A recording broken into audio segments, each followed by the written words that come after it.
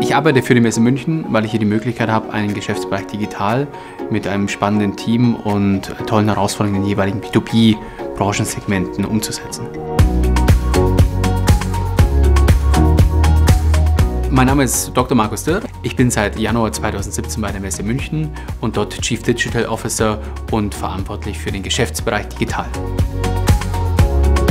Die Aufgaben von mir und meinem Team sind es, neue digitale Geschäftsmodelle zu identifizieren, diese umzusetzen und erfolgreich zu machen und das nicht nur am Standort München, sondern eben für alle unsere internationalen Standorte. Für unseren Kunden ist es immer eine Herausforderung, Geschäftsleute online anzusprechen und sie an das eigene Produkt zu binden. Hierzu haben wir Werbetechnologien bei uns im Einsatz, digitale Plattformen und digitale Zusatzservices. Die Messe München als Arbeitgeber ist für mich extrem mitarbeiterorientiert.